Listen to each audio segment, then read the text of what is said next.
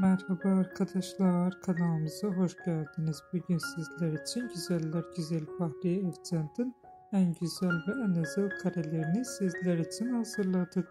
Fahriye Evcen Çalı Kuşu Yaprak Dökümü ve birçok dizilerde ve filmlerde rol almıştı ve herkes tarafından çok beğenilmişti.